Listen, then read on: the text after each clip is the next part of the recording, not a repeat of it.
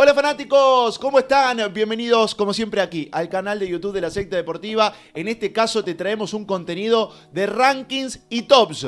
Más precisamente el caso de Borussia Dortmund, uno de los clubes que mejores vende en la actualidad del fútbol. Y a raíz de la venta de Jude Bellingham por 103 millones de euros al Real Madrid, te mostramos, te traemos el top 10 de ventas de la historia del Borussia Dortmund. No te olvides, fanático, de suscribirte al canal de la secta deportiva y activar la campanita para que te enviemos una notificación en cada uno de estos contenidos. Además, pusimos como meta alcanzar los 300 me gustas en este video. Si llegamos, por favor hay que hacerlo, vamos a traer más videos, por ejemplo, sobre la historia y las ventas del Benfica, uno de los grandes equipos europeos. En el puesto número 10, Abdou Diallo, el francés fue adquirido por 28 millones de euros en la temporada 17-18 procedente del Mainz. Tan solo disputó esa temporada con el club alemán, en la cual fue titular indiscutido y recopiló buenas actuaciones que le bastaron para que el PSG ponga los ojos en él. El todopoderoso parisino se hizo de Diallo por 32 millones y medio de euros y actualmente lo tiene a préstamo en el Mónaco, luego de no sumar minutos en el club de la capital francesa. En el puesto número 9 está Matt Hummels, el histórico defensor de la escuadra amarilla. Había llegado al Dortmund en el año 2009 por solo 4 millones de euros. Con el paso de los años, se afianzó como uno de los mejores centrales del mundo entre 2013 y 2016. Fue en ese año donde Matt decidió abandonar al Dortmund para partir al enemigo, al Bayern Múnich. La lógica de la época, se fue por 35 millones de euros y luego de tres años decidió volver al club.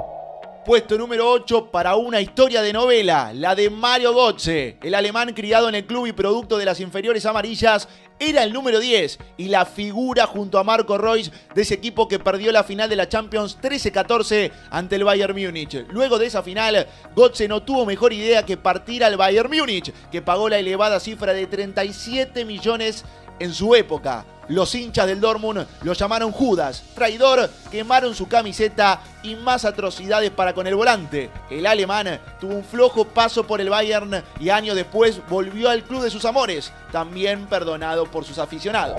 Puesto número 7 para Henrik Mitarian.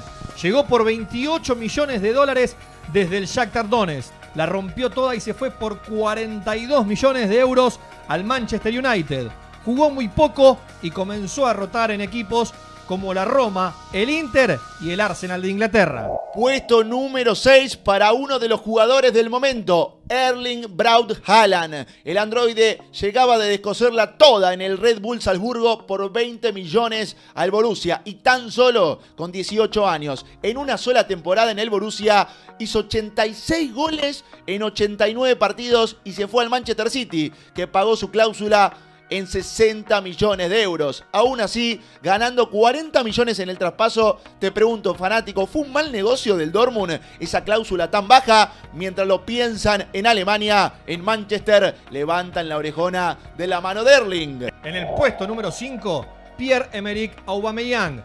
El gabonés llegó por 13 millones a Alemania y la rompió toda. 141 goles en 213 partidos en Dortmund.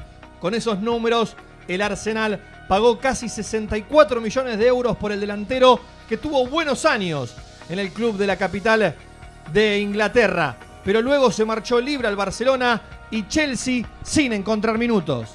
En el puesto número 4 se encuentra Christian Pulisic, ganancia pura para los auninegros. El estadounidense fue producto de la cantera y a base de buenas actuaciones se ganó la 10 del Borussia y era la figura del equipo en 2018. El Chelsea puso los ojos en el extremo y sacó de su propia billetera 64 millones de euros por el zurdo. Desde ese entonces poco se ha sabido de Pulisic, de mal pasar en el Chelsea de Inglaterra. Entramos ya en el podio de las mejores ventas del Borussia Dortmund.